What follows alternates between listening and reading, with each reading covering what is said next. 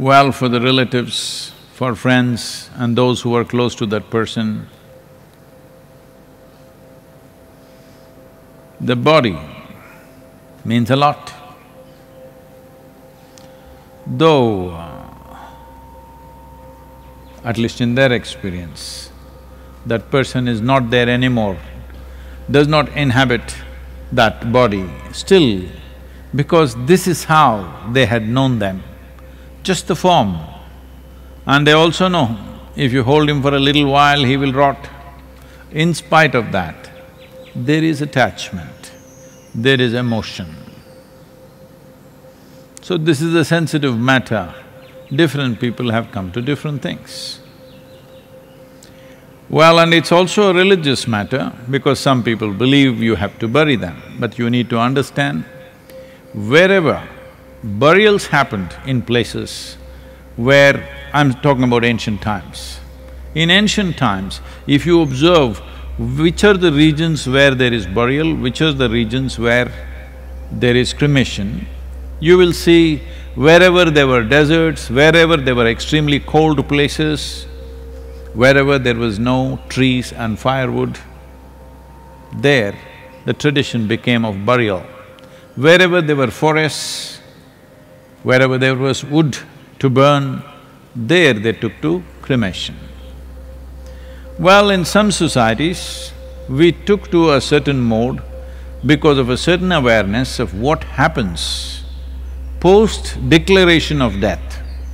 I'm particular about this.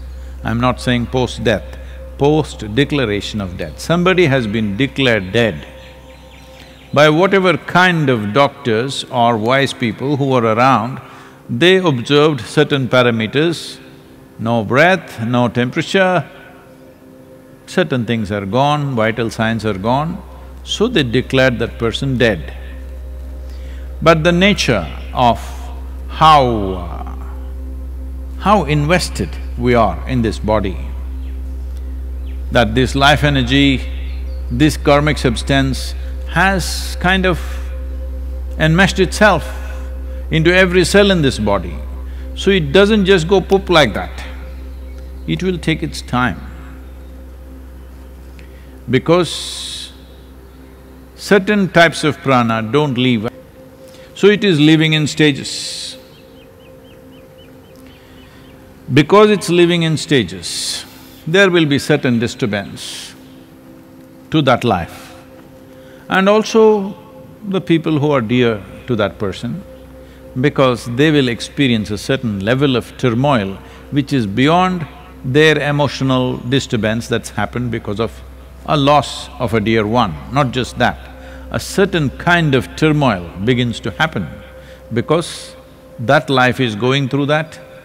Due to genetic relationship, there will be a certain level of turmoil. Because life is exiting, when it exits to a certain point, that person will get declared dead medically because everything is over, it cannot be revived, it's reached that point. But still life is exiting. If you allow it to exit for a long period of time, there's an unnecessary disturbance. So, normally in this country, in this culture, we fixed one and a half hours as a time to cremate, within which you must cremate. If people are below eighty-four years of age and they have died, it is best to cremate. If they are over eighty-four years of age, generally the… most of the time, I would say ninety-five percent of the time or even more, the… the life energies have already become feeble. When it exits, nothing much is left or almost nothing is left. So, over eighty-five or eighty-four years of age, sometimes they buried them because it didn't matter. But if they are below that, especially if they are much younger, suppose they died due to an accident or a disease or an injury or something, then uh, always cremation is the way. Cremation is a good thing to do because it is… it settles for that person and for the emotional lot who are around. Because just the idea, somebody is very dear to you, you put him in a box and put him under this garden, you know, in this garden, beneath the surface. You can't leave this place and go because you know your loved one is still there. It's very difficult to do that. It's all right, people put mud on it and went away, you put some flowers, but your struggles will not close. The struggles are not purely psychological. There is a physiological struggle also because of a certain genetic relationship which is beyond what you think and feel. So cremation settles those things. So general prescription would be, unless they're over eighty-four years of age, it's best to cremate.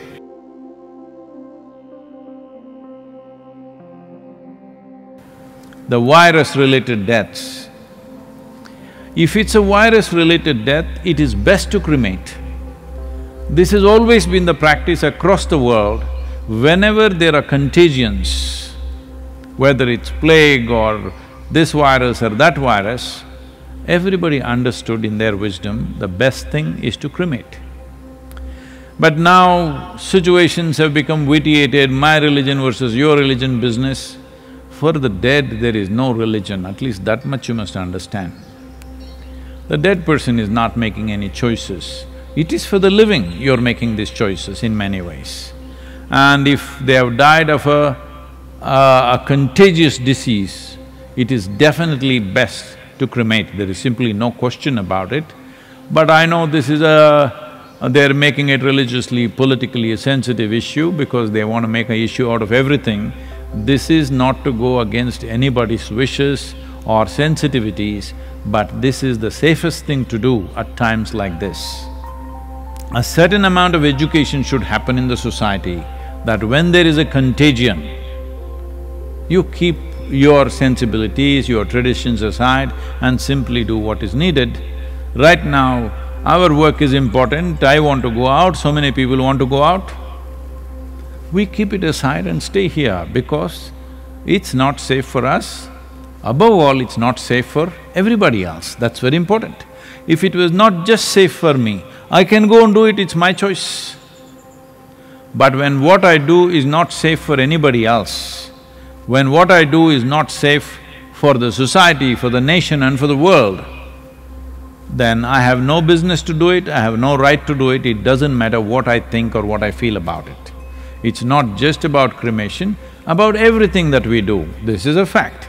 This is a basic human sensitivity that all of us should have no matter what we believe, what we adhere to, how important we think what we believe is, when it comes to causing damage to other lives, we have no business, it doesn't matter what kind of sensitivities we have about it.